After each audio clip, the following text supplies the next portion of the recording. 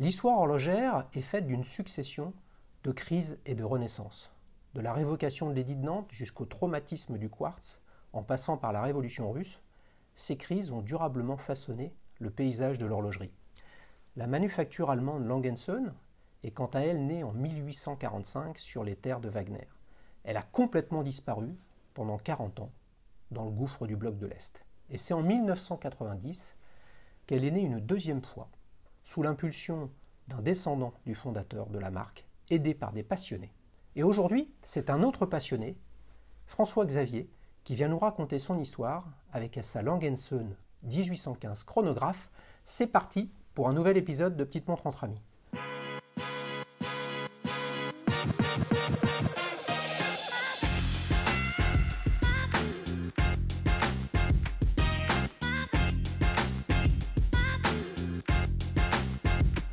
Bonjour François-Xavier. Oui, bonjour Xavier. Je suis ravi de te recevoir. Ben, pareillement, je suis ravi d'être euh, avec toi. Je suis sûr que les abonnés sont super excités. C'est le premier épisode qu'on fait sur une langue Est-ce que tu Ah. peux nous la montrer? Oui, bien, bien sûr, je vais, te, je vais te la montrer tout de suite. Donc euh, la voici. Magnifique chronographe. Superbe. Double cadran. On aurait pu dire unicompax, entre guillemets, à deux cadrans, mais ils ne sont pas à 3 heures et à 9 heures, donc c'est bien particulier. Est-ce que tu peux un peu nous, brièvement, nous donner un adjectif qui la qualifierait le mieux pour toi? Ah bah, moi je dirais euh, excellence. Excellence. Pour moi, euh, cette, euh, cette montre euh, alors, symbolise assurément justement toutes les capacités de la, de la manufacture euh. Alors comme tu l'as comme tu l'as rappelé dans, dans l'introduction, donc là, il s'agit d'une une très vieille euh, manufacture allemande qui a, qui a démarré son activité en, en 1845.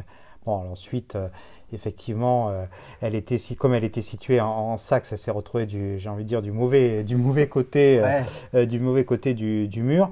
Et grâce à, à l'impulsion de, de deux hommes, euh, Walter, euh, Walter donc qui fait partie de la, famille, donc euh, de la famille Lange, et Gunther euh, Blumlein, qui était un, entrepreneur, euh, un entrepreneur euh, allemand. La, manufacture a, redémarré en, en- en 1990. Alors, les statuts euh, furent, euh, furent déposés en, donc en, en 1990 et la, et la manufacture a pu présenter sa- sa première collection, sa collection de Renaissance, en octobre 1994. Et dans cette collection de Renaissance, il y avait, il y avait euh, quatre montres. C'était la, la Lange One, qui reste la, montre qui est toujours présente dans le, dans le catalogue, la, première euh, euh, Saxonia, euh, l'arcade et le, tourbillon, euh, le fameux tourbillon pour, pour le mérite, qui était donc la, première montre bracelet euh, avec un tourbillon et un, un système de, de chaîne, euh, de chaîne fusée. Et puis, euh, euh, parce que euh, Gunther Blumlein, pour moi, était un- vraiment un, génie. Il avait tout compris, je dirais, dans le fonctionnement, euh, euh, qu'est-ce que devait être euh, la, haute horlogerie, euh, comment répondre à l'attente des, des collectionneurs. Pour, pour euh, Gunther euh, Lange ne pouvait pas euh, redémarrer à un certain niveau et puis progresser petit à petit vers le sommet. Il fallait être directement au sommet. C'est pour ça d'ailleurs que euh, cette tourbillon pour le mérite avait, avait été lancé, c'était pour vraiment fixer les, fixer les bases et, expliquer ça y est, Lange est de retour et, et au plus haut niveau. Il avait travaillé sur ce modèle avec euh, d'ailleurs des gens de talent comme, euh, comme Papi euh, qui avait développé euh, tout ce qui était le mécanisme de, de, chaîne, euh, de chaîne fusée de la, euh, de la montre. Et puis donc, euh, lorsque euh, Lange a, redémarré, ça a été euh, ça a été vraiment un événement important dans, dans le monde de la haute horlogerie de l'époque parce qu'il faut voir que c'était euh, donc au, au milieu donc des années 90, c'était un, un monde assez assez, assez On est en pépère. 94. hein. Voilà. 90, c'est le, le- la marque là, est de nouveau déposée. hein. Enfin, Voilà. En tout cas, est reprise hein, parce qu'ils avaient été expropriés. Et les, les quatre euh, modèles dont tu parles sont sortis en 94. Ils sont sortis en 94. Alors à l'époque, euh, Lange appartenait euh, donc au, au groupe euh. Bien sûr, ouais. C'était les donc euh, les euh, comme d'ailleurs IWC et, et Gégère, et. Gunther Blumlein était le, le patron des, des trois des trois entités. Et, et donc il a su justement utiliser aussi les, les capacités des marques IWC et Gégère pour justement relancer, relancer, relancer Langue. les équipes allemandes se sont formées auprès des manufactures suisses pour justement récupérer, récupérer les, connaissances, pour, pour, réapprendre, pour apprendre le métier, la, prod, le prototypage, ainsi de suite. Donc, et tout ça, ça a nécessité donc un travail de, longue haleine, effectivement, et, mais finalement, 4 ans, c'est, j'ai de dire, presque relativement court entre les, dépôts de, statut et la présentation de la nouvelle collection, surtout quand on voit les, pièces qui composent cette, cette, collection, parce que la langue One, par exemple, si je mets de côté le tourbillon pour le mérite, qui est une pièce particulière, mais la langue One, c'est une montre extrêmement marquante et extrêmement originale pour, pour l'époque, parce que c'est une montre qui présente une architecture de, cadran euh, très particulière avec un affichage du temps euh, décentré, une, grande date, l'affichage de la, de la réserve de marche, un design très particulier, très, très allemand. Et d'ailleurs, c'est ça qui est intéressant, c'est que Blumlein, il a voulu présenter une montre vraiment allemande, pas un Suisse à la, mode, euh, enfin revue et corrigée. Non, c'est une véritable montre allemande avec un style très allemand, que ce soit esthétique, Attends, François-Xavier, permets-moi, hmm. on, va, on, va, on, va, on va continuer justement tout au long de cet épisode sur, hmm. euh, sur l'histoire de, de, de Langenson, mais si on... Euh, euh, la langue one, hein, je la montrerai en, post-production pour vous voyez effectivement. mais c'est important juste de préciser, c'est que juste au-delà de l'esthétique du, cadran, ce qui est important aussi, c'était la, décoration du mouvement.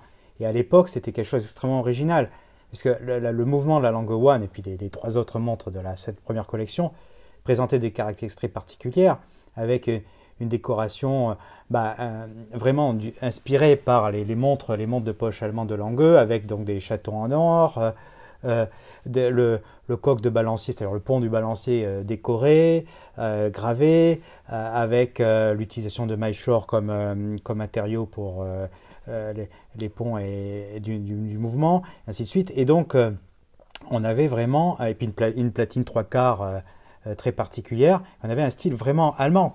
Ouais, le, le dont tu parles, c'est le German style en, euh, German Silver. Ouais, German Silver, c'est ça. Et là, on retrouve euh, en fait l'origine minière hein, de, la, de la Saxe avec Glassut, qui était une ville minière pendant, pendant, pendant des années. Oui, c'est-à-dire qu'effectivement, enfin. Langueux s'était installé donc en 1845 à, à, dans le contexte d'un, je dirais, d'une subvention euh, obtenu auprès de, l'État de, Saxe euh, dans le cadre du déploiement économique de la ville de, de, effectivement, pour trouver euh, d'autres débouchés à, la ville. Bien sûr, et pour la petite histoire, tu me contrediras si ce n'est si pas le cas, mais le, le, lorsque la manufacture a été expropriée hein, par le régime d'Allemagne de l'Est, eh bien le, le la famille hein, qui possédait et détenait la manufacture à l'époque, qui a fui euh, à l'ouest, c'était soit ils restaient en Allemagne de l'Est et ils allaient dans les camps de travail, justement, euh, euh, dans toute la partie minière d'Allemagne de l'Est. Alors là, je, n'ai pas vraiment une connaissance précise là, sur ce point particulier. Ce, ce qu'il faut rappeler, c'est qu'effectivement, toutes ces manufactures-là ont été réintégrées dans une grande société qui était la, la, Goub, hein, qui était la, la société d'Allemagne de l'Est qui était dédiée à la fabrication, à la fabrication de, de montres.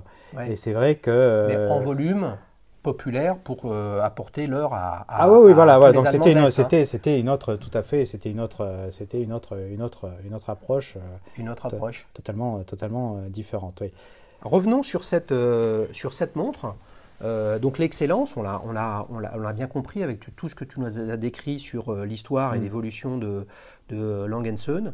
Euh, comment, euh, comment tu l'as acheté? À quel hmm. moment? Et pourquoi? Alors, c'est important de revenir après, sur, encore une fois, sur l'histoire de, de parce que c'est important, parce que là, on parle d'un. Je peux l'essayer pendant que tu nous racontes tout ça? Merci. C'est le monde chronographe.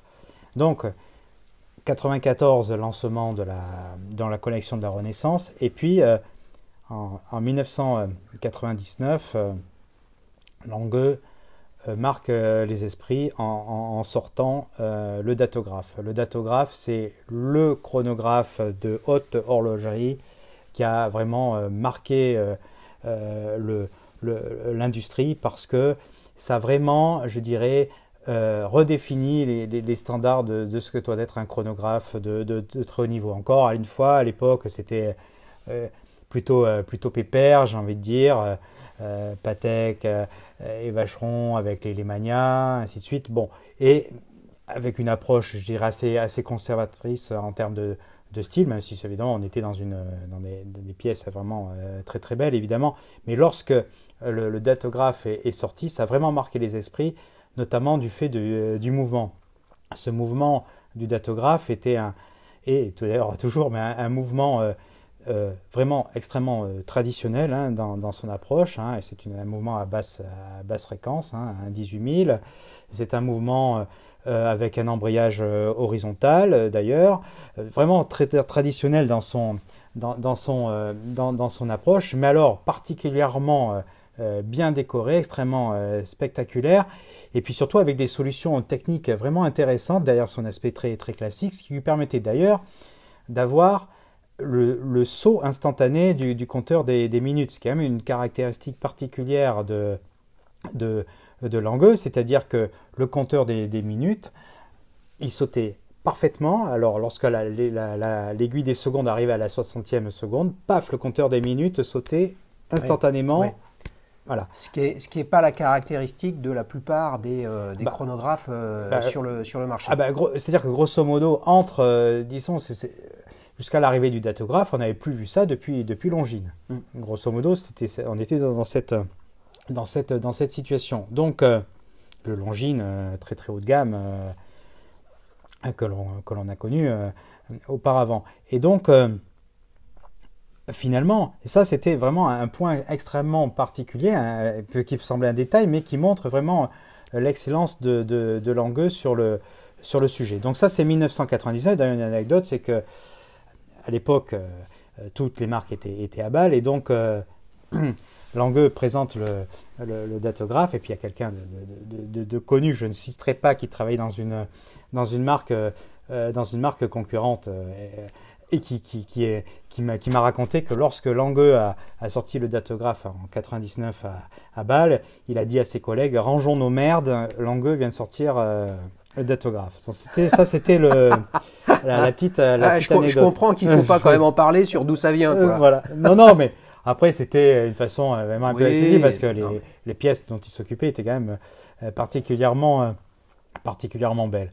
Donc ça, c'est 99. Et puis, le datographe, c'était donc un montre, une montre donc chronographe de, de haute horlogerie particulière avec une organisation de cadrans en, triangle avec la grande date au sommet et deux, deux compteurs donc la, évidemment la trotteuse permanente et le compteur des, et le compteur des minutes.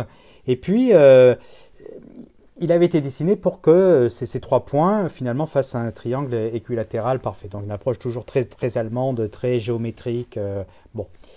Et puis euh, ce datographe qui faisait donc un. Qu'on retrouve d'ailleurs sur ton sur ce cadran, Alors, entre tes deux cadrans à 12 heures. Voilà, ah. ça, ça je vais, je vais, je vais y revenir parce que donc ce datographe qui donc avait un diamètre de de, de, de 39,5 mm et puis une épaisseur d'à peu près 13, 13, 13 mm, certains bah, lui reproché d'être un petit peu, d'être un petit peu épais dans ses, dans proportions.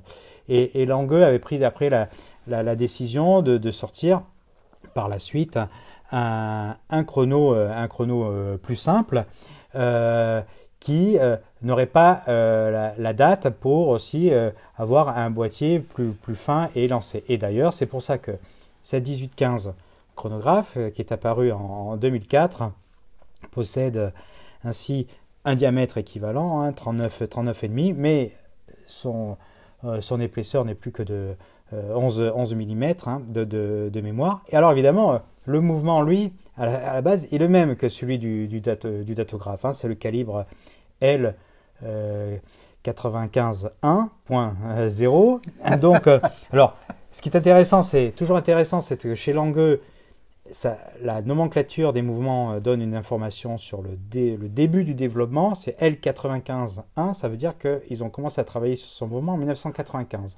Et donc, voilà. Et donc, 4 ans plus tard, le datographe est sorti. Ils ont euh, développé le mouvement du datographe pendant, donc pendant, pendant 4 ans. Et donc, celle-ci donc, possède le même mouvement que le, euh, datographe. la date la date en moins, et donc récupère toutes les caractéristiques. Évidemment, les axes des aiguilles sont, les mêmes, et c'est la raison pour laquelle les, deux sous-cadrans sont légèrement décentrés.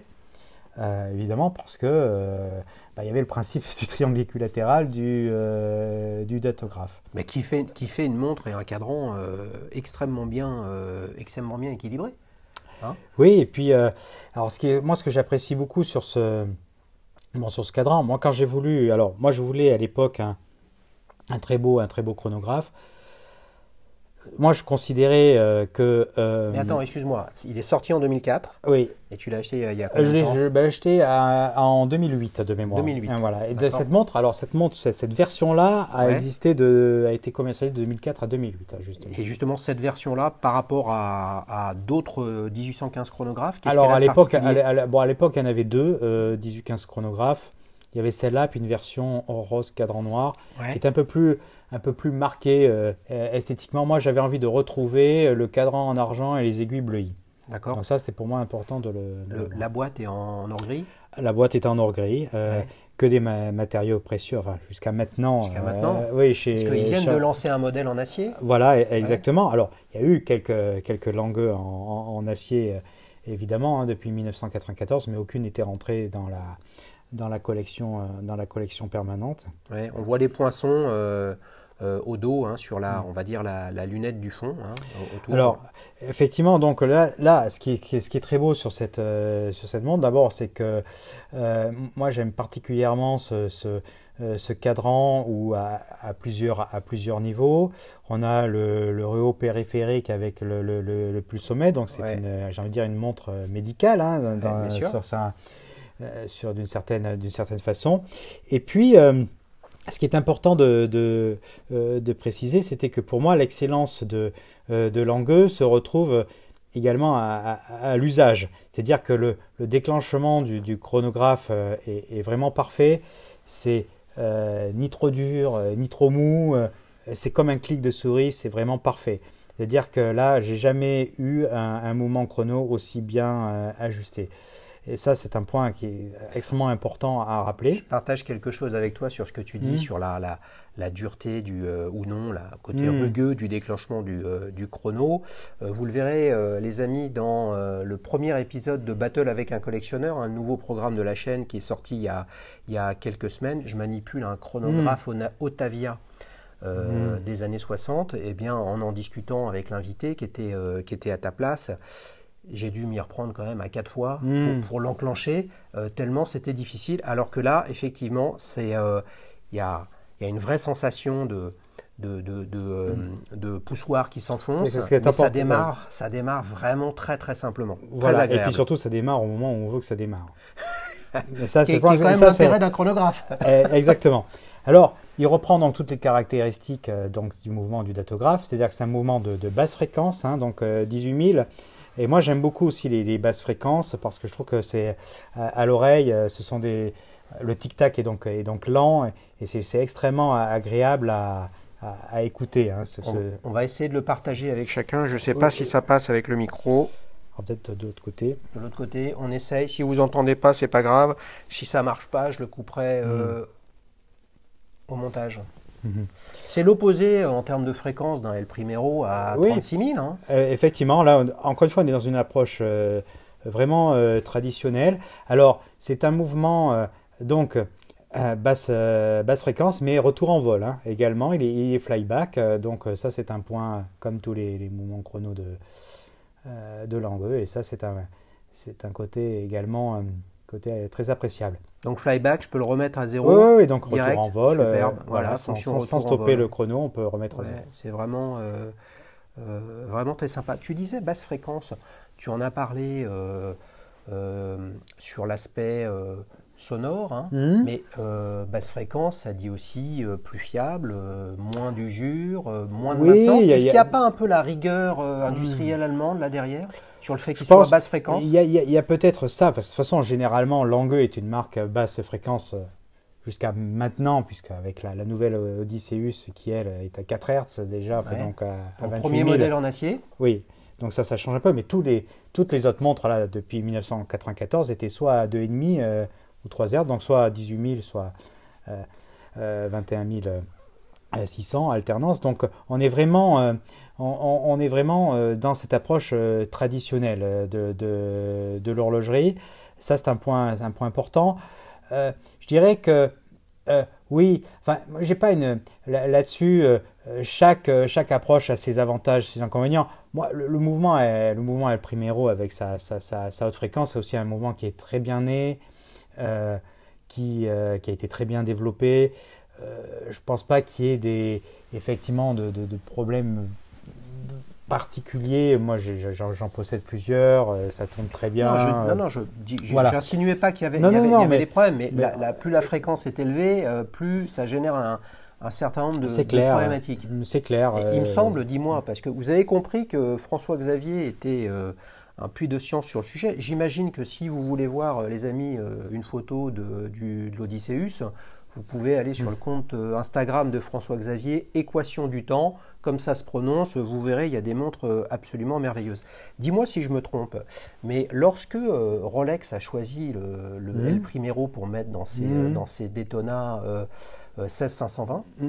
euh, ils ont enlevé la date et ils ont baissé la fréquence. Alors, je ne me trompe pas? Oui, alors, c'est-à-dire que Rolex. il y avait bien un sujet de. Oui, alors c'était plus, oui, bien, bien sûr, mais c'était plus une approche de rationalisation à la, à la Rolex, c'est-à-dire que ils ont effectivement baissé, euh, baissé la, euh, la, la, fréquence, ils sont passés de 5 à, 4 Hz, et puis ils ont surtout euh, je dirais, rationaliser le mouvement en termes de, construction, c'est-à-dire qu'il y avait des, vis de taille différentes euh, côté, euh, côté Zénith, Rolex a essayé d'uniformiser ça pour que la, la, maintenance soit aussi plus simple par, par, par, la suite.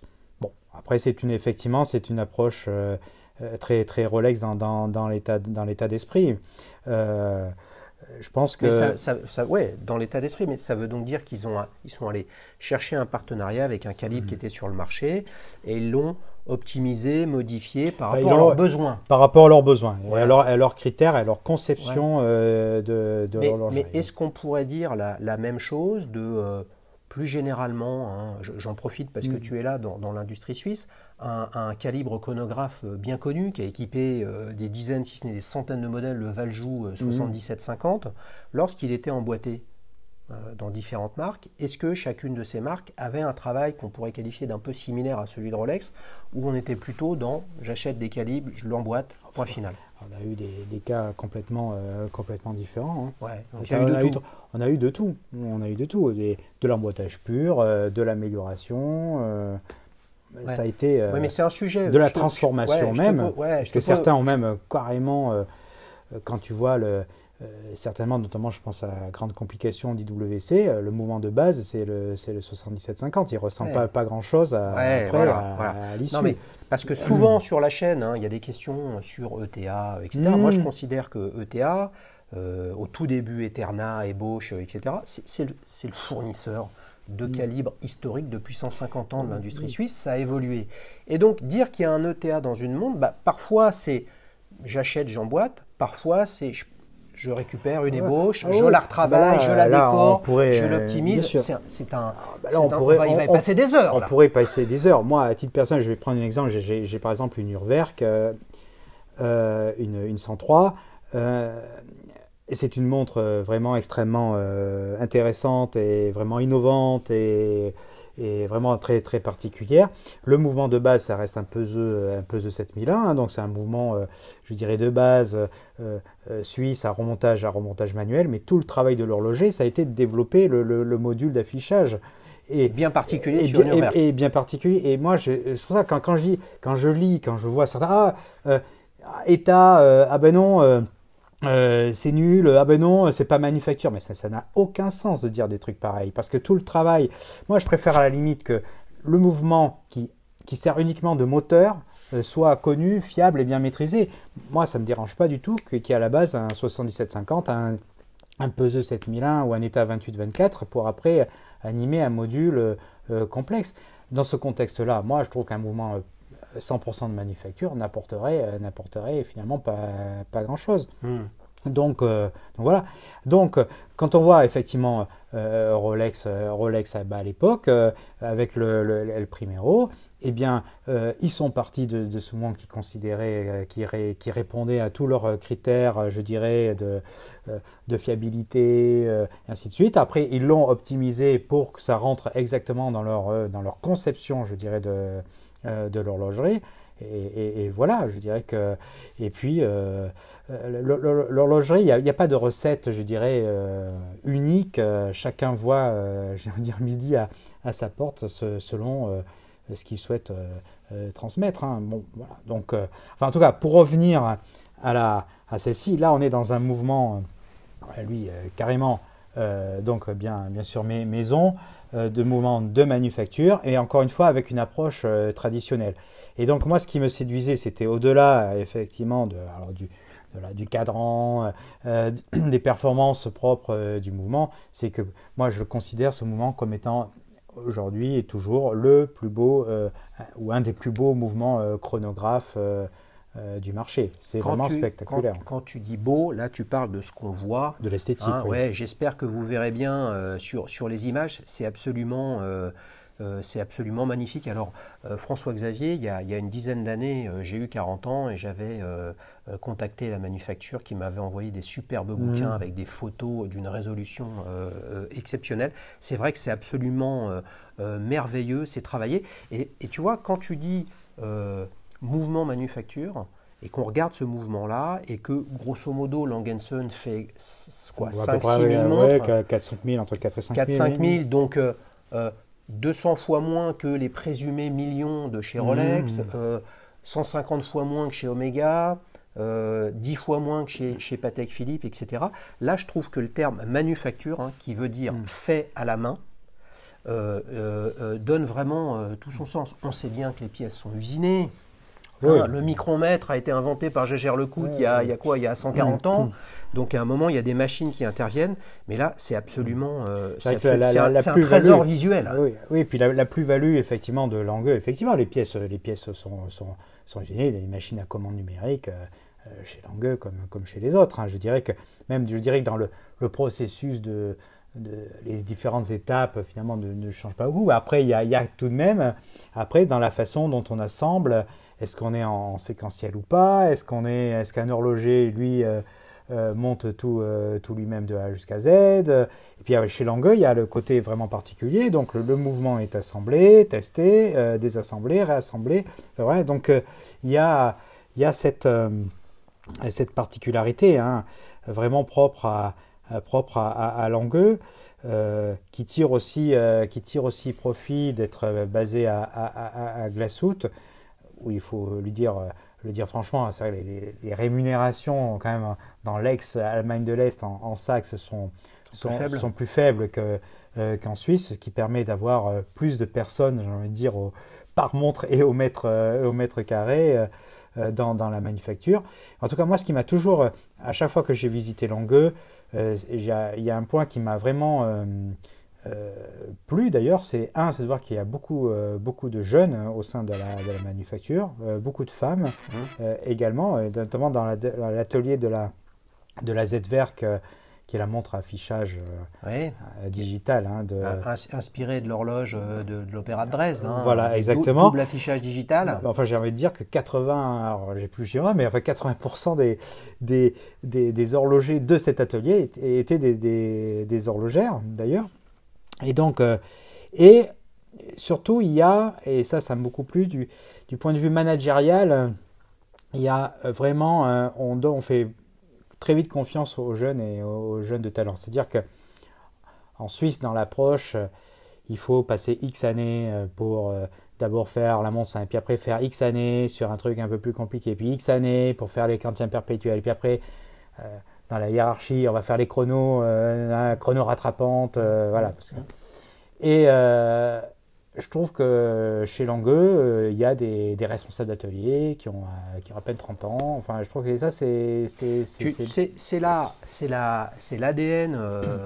c'est l'ADN allemand là, ou c'est aussi lié au fait que bah, la, manufacture a complètement disparu pendant 40 hmm. ans. Ils sont repartis pas de zéro, parce que bon, il y avait, il y avait encore tout l'historique, les, hmm. les, euh, les, archives, euh, des hmm. outils, des ateliers qu'ils ont récupérés, mais il a fallu redémarrer avec, euh, avec des jeunes, aidés par le Lander de Saxe, une fois que la, réunification avait eu lieu. Il y avait, il y avait, il y avait ça, effectivement, lors, du, du, du, du, redémarrage.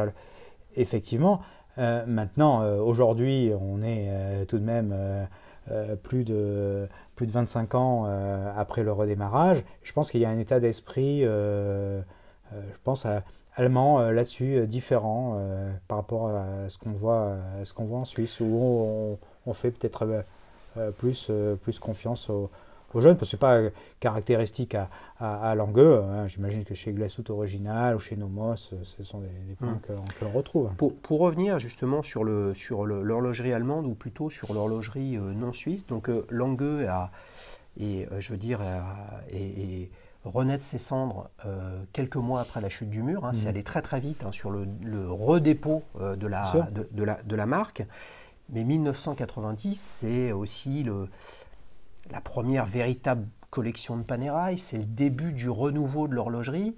Il y a on est quand même sur un, sujet, euh, le sujet c'est le temps, hein. mmh. l'équation du temps, euh, ton, blog et ton, euh, et ton compte Instagram, c'est quand même un, sacré, je ne vais pas dire un pied de nez, mais c'est-à-dire au moment où Langenson renaît de ses cendres, l'industrie de l'horlogerie mécanique renaît de ses cendres, il y a un paquet de manufactures euh, qui étaient euh, pas loin de disparaître, mhm. hein, en Suisse notamment. Qu'est-ce que tu penses de l'horlogerie française, qui a, une histoire qui est colossale, avec d'immenses horlogers, mhm. et qui, elle, n'est pas, bah, n'est pas revenue. Hein. Elle a mhm. sombré dans la crise du quartz. Yema disparu, Kelton disparu, Lib disparu. Alors, ils reviennent avec des, rééditions, hein, c'est sympa. Je pense mais il n'y a pas le Langenson français, quoi. Euh, bah oui, alors il y a eu des, des, projets de, relance, notamment de, de Leroy, mais qui ont tous, euh, euh, qui ont tous échoué. Pékinier Je pense que, aussi Oui, après il y a, y a, y a Pékinier, hein, tout de même, qui, qui travaille. qui, travaille, qui travaille bien, mais de façon générale, on sent bien qu'il n'y a pas cette, cet élan industriel qu'il y a en Allemagne. Encore une fois, il y a Lange, mais il y a Glasout, il y a Nomos, il y a plein d'autres, puis il y, a, plusieurs centres horlogers, il y a Glasout, il y a aussi la forêt noire. Enfin, vraiment, il y a, euh, c'est, on sent quand même une, une, une, dynamique euh, allemande qu'on n'a pas forcément en France, mais j'espère que ça va, ça va changer. Mais il faut quand même pas oublier aussi que la France, euh, enfin l'industrie horlogère aussi française, elle a été, enfin les, Suisses ont, ont, particulièrement œuvré à savonner la planche. Il faut quand même pas oublier ce, ce, point aussi historique. Et puis, l'autre élément, c'est que le segment sur lequel intervenait euh, l'horlogerie, euh, euh, française était un segment plutôt milieu de gamme, entrée gamme. Et dans ce contexte-là, c'était extrêmement difficile aussi de, de redémarrer avec, lorsque justement l'horlogerie mécanique est revenue, elle, dans une, dans une approche plutôt, plutôt de gamme. Hein. Et dans ce contexte-là, ce contexte d'image, c'était très compliqué pour les Français de, de redémarrer. Maintenant, il n'y a pas de fatalité, effectivement. On a, Pékinier qui a, avec la, collection calibre Royal qui œuvre, mais surtout ce que je vois moi au niveau français, et c'est ça qui me fait très plaisir, c'est qu'il y a beaucoup de, jeunes euh, horlogers de, talent qui ont des très beaux, euh, euh, qui ont des très beaux projets. Alors on est plus là dans, l'artisanat que dans une approche industrielle euh, allemande, mais enfin il y a des projets français et ça c'est très, euh, très agréable de voir, euh, de voir ça et, je pense que cette horlogerie française qui, renaît par le biais de ces jeunes artisans mmh. eh bien, va, va connaître va connaître le, succès. Et enfin, je, je, leur souhaite et va donner aussi peut-être un élan pour d'autres pour d'autres projets. Et puis moi ce que je vois aussi c'est qu'on a euh, des, des, entrepreneurs qui font des, euh, des montres alors plus accessoires, plus euh, mais, mais enfin il y, a des projets, il y a, y a beaucoup de, de, de, créateurs français. Français ou pas français d'ailleurs, parce qu'il y a les plateformes mm. digitales hein, comme Kickstarter, etc., où on voit que les projets qui lèvent le mm. plus d'argent sont des projets d'horlogerie. Alors qu'on soit dans le design, qu'on soit dans l'accessoire, Mmh. qu'on soit dans, dans- dans l'utilité, euh, à un moment ou un autre, pour euh, avoir une approche industrielle de quoi que ce soit, euh, parfois l'un des chemins, c'est de démarrer sur quelque chose d'artisanal et puis après de grandir. Et bien évidemment, Mmh. on souhaite à, à tous ces jeunes euh, horlogers. Souvenez-vous, les amis, de cet épisode euh, récemment avec euh, Antoine qui nous présente sa montre Wostep euh, W01 qu'il a fait dans son cursus Mm. horloger de, l'école Wostep euh, à Mmh. Fougères euh, euh, ou, ou- ou en Suisse. On va passer à la seconde partie de, de- de cette émission avec la séquence Souvenir-Souvenir. Alors tu le sais, tu connais bien l'émission euh, François Xavier. Là on passe à un, à un autre sujet, c'est euh, euh, on a le même âge, hein, on a 50 ans tous les deux. Est-ce que tu te souviens de ta première montre ou comment tu as appris à lire l'heure, tes, tes- tes premiers émois horloge- horlogers?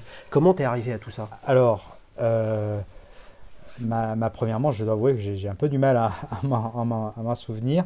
Maintenant, mon, grand-père était américain et mon grand-père avait des, montres euh, justement américaines de, poche, euh, Waltham, et puis il avait même une- aussi une répétition, euh, répétition car. Et donc, euh, c'est lui qui m'a. Alors, je n'ai malheureusement pas connu mon, grand-père, hein, mais, c'est lui qui m'a sûrement donné cette envie de, justement, enfin, ce goût de, de l'horlogerie. C'est donc dans, dans, euh, dans, dans mes gènes. Et donc, euh, alors j'ai été, euh, c'est vrai, euh, très souvent intéressé par, par, par, les montres, mais c'est vraiment quand je suis après, euh, quand j'ai commencé à travailler et puis à venir sur, sur, sur Paris que j'ai pu après euh, m'intéresser de façon beaucoup plus. euh, je viens de Bordeaux. hein. Et, euh, et, et c'est pour, pour moi, c'est en venant à Paris que j'ai vraiment commencé à, à m'intéresser de façon beaucoup plus précise sur le sujet, en allant à la Ouais. rencontre des détaillants, en découvrant Ouais. les, en découvrant les, les montres, en, en affinant mes, mes goûts. Et puis j'ai. mais Et puis t'as accéléré, parce que là, tu as, un compte Instagram avec euh, quasiment 120 000, euh, 120 000 abonnés. C'est-à-dire qu'il y a, il y a, euh, on a tous un cheminement sur le sujet. Tous les Mm. invités, Mm. euh, tous les invités en parlent. Toi, t'es à- je crois que c'est pas ton métier. hein, à la limite, peu importe non. quel est ton métier aujourd'hui, mais, mais t'es, euh, euh, on peut se régaler toute la journée en regardant Mm. ton compte Instagram avec des montres qu'on voit franchement pas souvent. Alors, Euh, comment t'en es arrivé là? Mm. Alors, c'est vrai que bon, à la, à la base, pour les premières belles montres que j'avais achetées, il y avait, alors il y avait quand même déjà le côté, euh, côté allemand. J'avais acheté une chrono, une chrono suisse, Oui, une chrono suisse Keros, et chrono suisse, malgré son nom, euh, c'est al- c'est allemand. ouais. Voilà. C'est- C'était la, ma- la, la- la montre, enfin la marque de, de, de, de Ça- de Lang. Ouais, ça a disparu, Chrono Suisse Non, ça existe, ça existe, Ça existe euh, ça, ça existe, mais maintenant dans une approche complètement, euh, complètement différente de celle que je connaissais de, de, Lang. C'est autonome ou c'est. euh, Euh, alors c'est, oui, alors c'est autonome. Par contre, je ne sais pas qui sont les, les propriétaires de les propriétaires de la de la marque. Donc euh, donc donc voilà, j'avais acheté une une belle Eros euh, également, euh, Belle réussite française. belle belle réussite, très très belle réussite, une Geneva 123. J'aimais j'aimais beaucoup Super. son Ouais. euh, son, son design très très très instrument et là Bruno Bellamy avait fait un très beau travail je trouvais sur cette euh, sur cette sur cette montre et puis d'ailleurs on se croise encore toujours très très régulièrement et moi ça me fait d'ailleurs très plaisir de voir le euh, le succès l'évolution de de- de Belle- très Belle typé, très typé. C'est un succès euh, entrepreneurial. Euh, bravo Mm. les Français. C'est une belle boîte, euh, beau projet. En deux secondes, qu'est-ce que tu penses de la BR05 Ah, moi, je trouve que c'est. euh, pas- je dirais que c'est une montre euh, que je trouve réussie parce que tout simplement parce que même si on, on- on cache le nom de la marque sur le cadran, on reconnaît que c'est une belle Eros. Alors Yes. après, il y a eu beaucoup de remarques. Ah oui, mais c'est inspiré par Ouais, truc. ouais, mais il y a une identité Belle Eros très Bien nette. sûr. Encore une fois, on cache le nom, on voit que c'est une, on voit que c'est une Belle Eros. Et puis, c'est important pour la marque de se, de se réinventer, de trouver autre chose.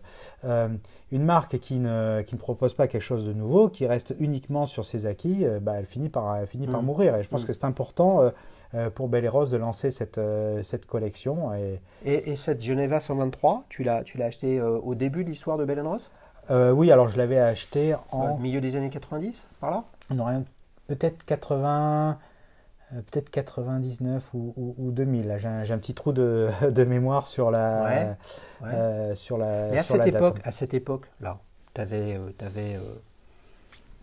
pour toi, par rapport à aujourd'hui, tu débutais un peu euh, dans ton regard sur l'horlogerie et tout ça, et tu, n'as cessé de t'impliquer de, plus en plus? Oui, oui effectivement. J'ai... Et puis, euh, mais finalement, j'ai acheté ma première langue assez, assez rapidement. Je l'ai acheté, euh, c'est ma, ma 1815 simple. je l'ai acheté en 2004. J'avais, parce qu'à la base, j'aimais beaucoup le remontage manuel et je considérais que les mouvements remontage manuel de Langueux étaient les, étaient, les meilleurs, que ce soit chronographe ou simple, ou, parce que ce sont les plus agréables à remonter, on le voit là, là aussi. Euh, et, franchement, euh, je prenais beaucoup de plaisir euh, avec ces, ces, ces, montres-là. Donc j'ai acheté une 1815 platine là en, 2000, en 2004. Après, j'ai acheté une, une cabaret, donc la montre rectangulaire de Langueux, qui n'est plus en catalogue maintenant euh, en bah, peut-être deux ans, euh, deux, ans, deux ans plus tard en rose. Et puis, euh, et puis après, j'ai acheté celle-là, et puis j'en ai acheté. sans, sans, sans, trop aller dans. on, peut te qualifier de collectionneur. Hein. Collectionneur, ça, veut, ça peut prendre plein de formes. Bien sûr. as, tu as. Pour toi, Langenson, c'est le c'est central dans ta collection? Oui, oui, oui, oui, oui. C'est ma, ma, marque de, de, prédilection. C'est la marque que j'apprécie euh, le plus. Et puis, euh, il y a beaucoup de d'histoires, de, de, relations aussi. c'est vrai que bah, je m'entends particulièrement bien avec les, avec les équipes de Langueux. Et, et, c'est important aussi. Euh, de la même façon que, bon, d'ailleurs, je, euh, je m'entends particulièrement bien aussi avec les, les horlogers indépendants euh, qui sont pour la, la plupart des amis. Et donc, c'est vrai que ça, c'est aussi cet aspect relation humaine. Quand j'ai acheté l'Urwerk, c'était la, la, même chose. Pour moi, mm. c'était c'était important. Et, et, pour conclure sur, sur, cette partie un petit peu historique de ton histoire, comment tu es arrivé là-dessus, comment tu es passé euh, ok, il y a ton histoire personnelle, ton grand-père petit à petit, mm. première monte et ainsi de suite, etc. Et, aujourd'hui, euh, euh, connaître les, fondateurs, les équipes, les centres de fabrication, mm. qu'est-ce qui fait que tu es, passé de entre guillemets de l'autre mm. côté? C'est-à-dire pas simplement comme moi, un, un amateur passionné avec ses goûts qui évolue, qui aime bien essayer des montres, les regarder, discuter, échanger, mais qui n'est pas dans l'industrie, toi, tu es euh, euh, d'un côté client et de l'autre côté, euh, tu connais le, back-office, l'envers du décor, l'autre côté du miroir, hein, pour, parler d'Alice au Pays des Merveilles. Comment, comment justement tu as franchi le miroir Tu es passé de l'autre côté? Eh Je pense que à la base, j'avais fait des, des, études Hippocagne et, et, Cagne et Cagne S, et, j'aime beaucoup rédiger. Et c'est vrai que le, sujet m'intéresse parce que pour moi, la montre, il y a un aspect esthétique, il y a aussi un aspect mécanique, et puis surtout, il y a des, gens derrière. Et moi, au-delà du, pur, euh, du pur objet, enfin, j'avais envie de connaître euh, effectivement les, personnes qui, euh, qui travaillaient derrière, qui créaient ces, ces objets. C'est pour ça que très vite, dès le départ, j'ai voulu connaître, connaître plus, c'est justement l'envers du, décor pouvoir aussi écrire dessus parce que j'avais envie euh, d'écrire. Pour moi, c'est ce qui est le plus important. Et même aujourd'hui, où, où, le compte Instagram, euh, effectivement, fonctionne très bien, où on, est tous euh, vraiment à zapper rapidement les, images, ainsi de suite. Mais pour moi, le, je trouve que l'aspect rédactionnel est. C'est là où tu as fait ton blog. Alors, exactement, c'est pour ça que j'ai fait mon blog. Et puis, je trouve, moi, je valorise beaucoup plus l'écriture. L'écrit que l'image. Que la, que finalement la publication d'une image. Euh, voilà. Et ça, parce qu'il n'y a que comme ça, il n'y a qu'en écrivant qu'on arrive à, à, se poser les bonnes questions et à, et à finalement bien découvrir une montre. Parce que finalement, quand on prend une photo qu'on la publie, puis basta, on n'a pas compris euh, vraiment. Mm. Je pense que quand. Euh, moi, j'apprends beaucoup de choses quand je veux écrire sur une montre. Parce que là, je suis obligé de me renseigner, je suis obligé de comprendre. Donc ça veut dire que le combo Euh, blog équation du temps et euh, Instagram équation du temps, en fait, c'est le, le, le duo magique de Paris Match. Le poids des mots, le choc des photos. Oui, c'est un peu. Hein oui, oui. Qu'est-ce que tu en penses euh, de ça, ben, François-Xavier Oui, pourquoi hein, pas. Dites-nous si ça fait un bide, ça, comme, comme allusion. Eh ben, on va continuer. Alors là, vous avez compris que François-Xavier était quand même sacrément pointu. On démarre avec le quiz. Alors, François-Xavier, le quiz, tu sais, c'est simple, il n'y a pas de règlement, il y a deux questions. Mhm. Et là, les amis, je crois qu'on est dans une situation un peu particulière. Je me demande si François Xavier n'a pas déjà répondu aux deux questions que je lui avais euh, concoctées, mais je vais quand même lui poser la question et on essaiera d'apprendre des trucs. Alors, je te pose une question, je te donne trois réponses A, B, C, et tu me dis quelle est, la, d'après toi, la bonne réponse. C'est parti. À quel groupe appartenait Langenson Hmm. lorsqu'il a été racheté par Richemont en 2000 Réponse A, SMH. Réponse B, LMH. Réponse C, LVMH. C'est toute une affaire de MH, hein, Oui. euh, François-Xavier. Qu'est-ce que tu en penses? Eh ben, c'était la, c'est la deuxième, hein, LMH, Bien sûr. manufacture horlogère, donc du- le pôle horloger de, de Mannesmann avec Gunther Blumlein à sa tête. Alors, ce qui est intéressant de, de rappeler, c'est que quand euh, Blumlein va voir la propriétaire de Mannesmann pour dire il faut investir à la renaissance de Langueux, le panorama est le suivant. euh, IWC et Gégeur sont euh, dans le rouge, euh, pour pas dire comateux, et Langueux n'existe pas. Et quand il revend ces trois marques, enfin quand Mannesmann revend ces trois marques à Richemont, on parle de, de milliards. Ouais, On voit le, le succès, euh, on voit le, le- le succès de, de Gunther Blumlein qui pour moi, euh, qui malheureusement nous, nous a, euh, nous a quittés trop, trop rapidement, mais qui pour moi avait tout compris euh, sur ce que devait être euh, l'horlogerie, la, la haute horlogerie, l'attente des collectionneurs et même de, je dirais du, du public hor- horloger au, au sens, Bien- au bien sens large. D'où l'intérêt de cette question, parce que SMH, euh, les amis, c'est Société de microélectronique et d'horlogerie, hein, Mm. qui est devenu le, le Swatch Group. Hayek avait bien compris aussi hein, ce qu'il fallait faire, hein, accepter que le quartz, euh, il y avait des choses à faire, Mm. en sortant la montre quartz euh, suisse, et puis de repositionner les manufactures d'aujourd'hui, qui étaient celles d'antan, mais de les relancer sur de l'horlogerie ou de la, euh, de la haute horlogerie. LVMH, euh, qu'est-ce qu'on peut en dire? Bah, C'est aussi euh, euh, peut-être le plus petit des trois gros groupes euh, horlogers, hein, avec Mm. euh, Bulgari, Ah, Zénith.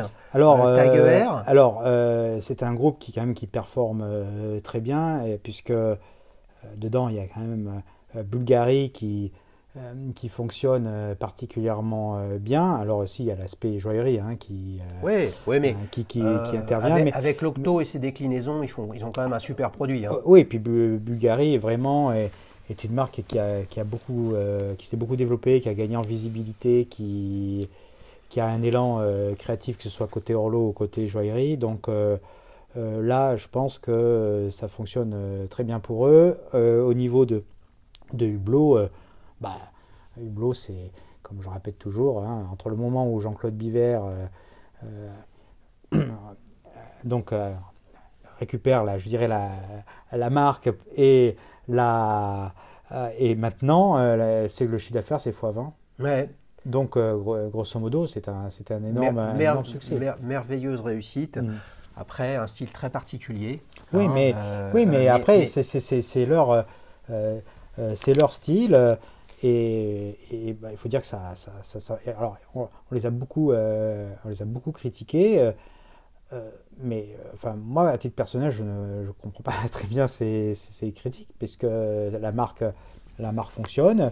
Il y a des clients euh, euh, qui sont qui sont heureux. En plus je trouve qu'il y a une qualité de service excellente chez chez Hublot. Lorsque la montre est en SAV eh bien la marque s'en occupe particulièrement bien.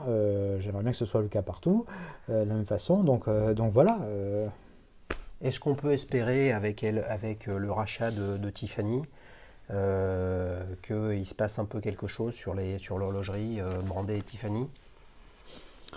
Bah, je ne sais pas, je pense que c'est un vaste, vaste sujet. Bon, il y avait une activité effectivement horlogère.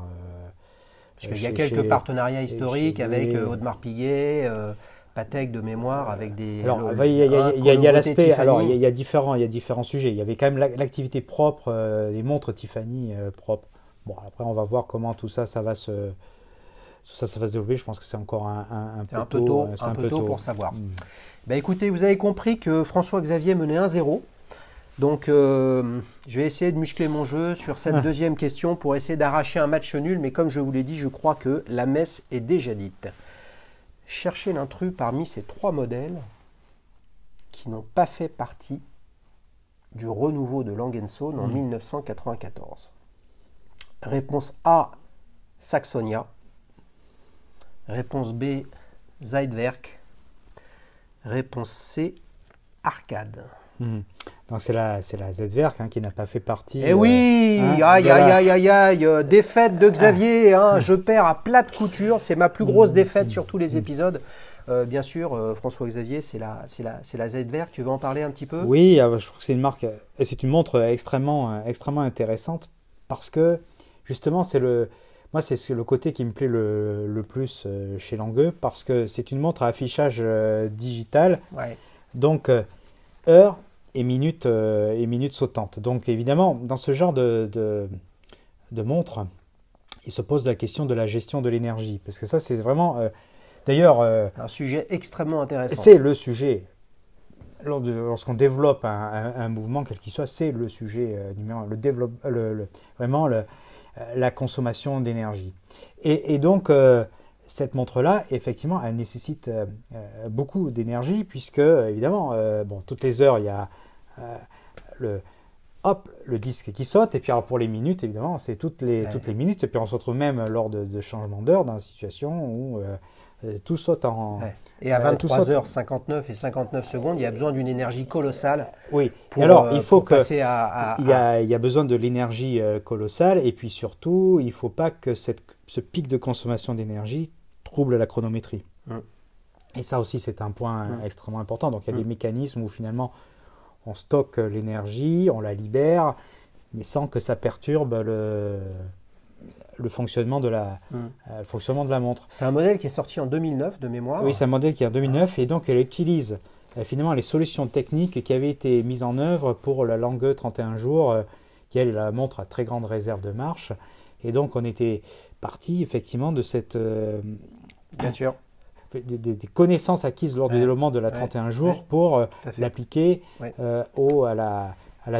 Et avec le, le- l'ADN euh, profond et historique qu'on retrouve sur euh, la datographe, qu'on retrouve sur la, la euh, langue 1 à date, c'est-à-dire avec cette grande date euh, à deux Mm. disques, euh, qui justement reprend euh, cette fameuse horloge euh, historique qui a marqué Oui, oui, euh, de, de- l'histoire. de Saint-Père Opéra à, à Dresde. Exactement. Tambour d'applaudissements pour euh, François-Xavier qui, euh, qui mène euh, et qui a gagné ce quiz euh, 2-0 et puis pour tout ce qu'il nous a raconté. Et là, on va savoir où il souhaite aller avec la séquence Ta prochaine montre. Alors François-Xavier, avec tout ce que tu nous racontes, tellement rempli de, passion, de découverte et de connaissances, est-ce qu'il y a, est-ce a ben, forcément, il y a tellement des centaines, des milliers, des dizaines de milliers de modèles, et c'est quoi le, c'est quoi le prochain qui te fait vibrer euh, et que tu aimerais avoir autour de ton poignet? Alors, la, la- la prochaine que j'aimerais avoir autour de, de- de- de mon poignet, c'est une langue euh, également. Ah mais t'as, un petit alors- problème quand même là. Non, un- parce que euh, moi, il y a beaucoup de marques, beaucoup de marques que, que j'apprécie. J'ai par exemple acheté une Audemars euh, l'année dernière et j'aime beaucoup Audemars, j'aime beaucoup Patek, j'aime beaucoup l'horlogerie indépendante. J'ai acheté aussi une Breitling récemment. Donc, franchement, euh, Zénith également, j'aime. euh, Zénith est une marque aussi que j'apprécie particulièrement. hein. Donc, notamment, j'ai une Défi El Primero 21. Enfin, voilà, donc. euh, mais euh, là, là-dessus, on est dans le contexte où, euh, effectivement, Langueux a, a présenté en fin d'année dernière une montre particulière qui est, qui est, qui est l'Odysseus. Ouais. Alors, qui est une montre qui a, qui a beaucoup surpris, un peu, un peu, un peu décriée d'ailleurs. De... Mais justement, c'est ça qui la rend, qui la rend intéressante parce qu'elle n'est pas, elle n'est pas consensuelle. Alors, on retrouve un peu comme la Z-Werk, je dirais un double, un double affichage avec, euh, avec les, euh, les jours et, et la, et, la, et la date. Et donc, euh, Et elle est en acier. et alors, la particularité, Ouais. effectivement, c'est qu'il s'agit d'une montre euh, automatique euh, avec un mouvement, donc lui, à plus haute fréquence que d'habitude, hein, qui c'est un, un 28800. Et, et donc, effectivement, c'est la première euh, langue en acier à rentrer dans la collection euh, permanente.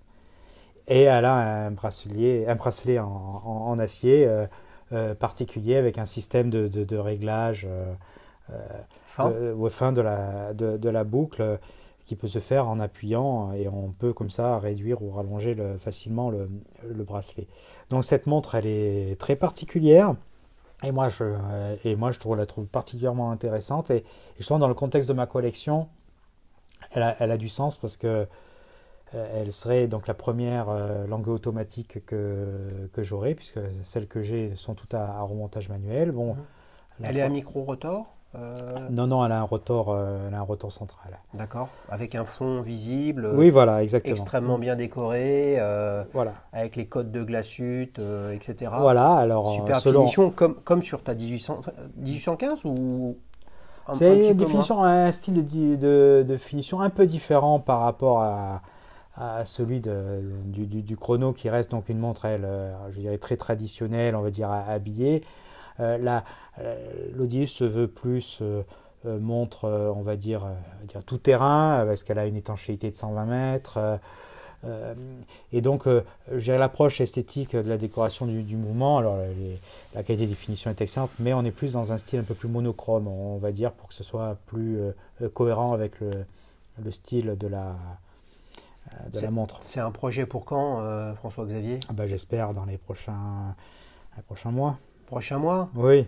Ben, là, je pense que ça, ça, ça montre euh, que lorsqu'on a une affection particulière, une histoire euh, avec une marque, bah, euh, quand des nouveaux modèles arrivent et en, rupture, on va dire, pour toi il y a deux ruptures, hein, c'est premier modèle automatique et il y a une rupture dans, dans, dans l'histoire de la manufacture en faisant une montre en acier. Justement à ce sujet-là, ils font peu de montres, on en parlait tout à l'heure, là ils font un modèle en acier, on va être probablement sur une gamme de prix peut-être plus accessible que ce qu'il y a dans les métionomes. Je mettrai le prix public en. Euh, non, parce que justement, c'est ça qui est. Ah.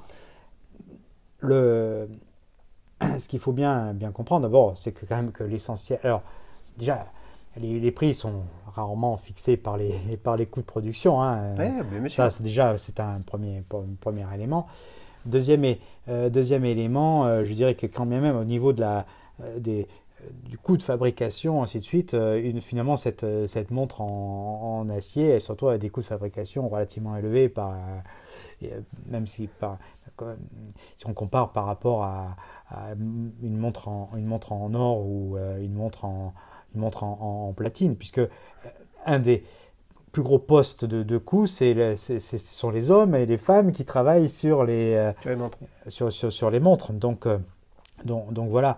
Mais, euh, ce qui veut dire qu'ils ne vont pas être amenés à augmenter leur volume de production avec un modèle en acier? Non, je, Ne, je ne pense pas. Ou alors ce sera vraiment euh, une, une, un volume de production qui restera raisonnable. Puis surtout, il y a, enfin, une marque ne peut pas se permettre. Euh, elle est dans un segment, elle doit maîtriser ce, segment, elle doit rester cohérente. C'est-à-dire que le, prix, le prix de cet Odysseus, bah, de toute façon, le prix public, on le connaît, c'est 28 000. Hein, voilà, voilà ça se situe dans euh, le même segment que celui des, des, concurrentes du, euh, du marché. Euh, donc c'est clairement positionné en face du Nautilus, d'une Aquano, d'une 15202, 15400, 15300 et ainsi de suite. Bah, exactement. Langueux intervient dans le même segment que Patek Audemars. Il n'y a pas de raison fondamentale que le modèle acier de Langueuse soit dans un segment de prix différent de, de celui de ses, de ses confrères. Tu mets euh, Vacheron Constantin Overseas dans le, oui, même segment bien sûr, bien sûr. L'Overseas de, de, de, Vacheron est, étant, une, je trouve, une montre euh, vraiment euh, très très bien faite avec son système de bracelet, de changement de bracelet qui, qui est extrêmement pratique. oui, non, c'est une, une belle montre, hein, l'Overseas, oui. Eh ben François-Xavier, on te souhaite d'aboutir dans ta quête. Hein, ben, merci, je le souhaite euh, également. Langenson, si vous avez envie de vous régaler avec, euh, avec des superbes photos qui suivent l'actualité de François-Xavier, eh ben, vous vous abonnez à son compte Instagram euh, Équation du Temps. Si vous avez envie de participer à Petite Montre entre amis ou Battle avec un, autre, avec un collectionneur, l'autre programme de la chaîne d'Alicious, vous m'envoyez un mail sur contact.dalicious.fr ou alors en message privé sur Instagram. Et puis avec les références, quelques photos, ce dont vous avez envie de parler, en quoi votre histoire est originale, singulière, sympathique, subjective, délirante, peu importe. Dalicious, c'est la chaîne de l'émotion sur l'horlogerie et je vous dis à bientôt Merci, au revoir.